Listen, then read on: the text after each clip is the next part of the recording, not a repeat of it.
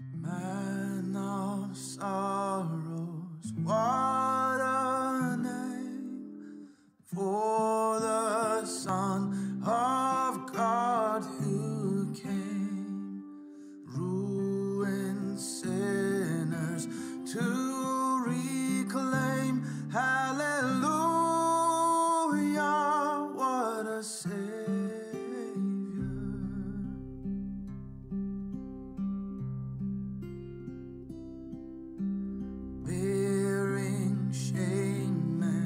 coffee.